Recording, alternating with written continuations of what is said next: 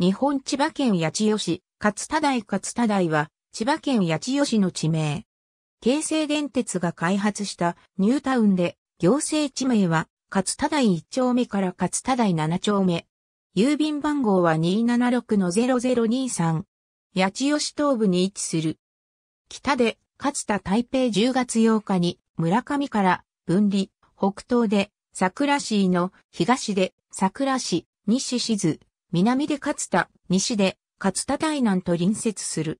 京成電鉄本線勝田台駅南側の市街地、及び住宅地にあたる。住宅地の地価は、2015年1月1日の工事地価によれば、勝田台7丁目21番6の地点で12万4千円、平方メートルとなっている。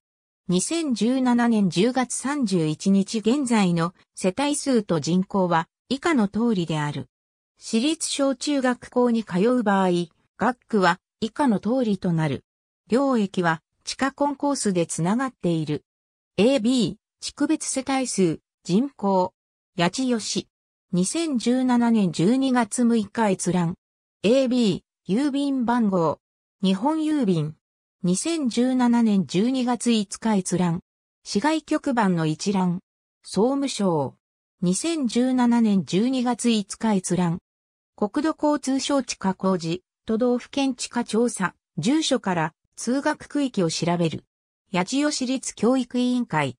2017年12月6日閲覧。ありがとうございます。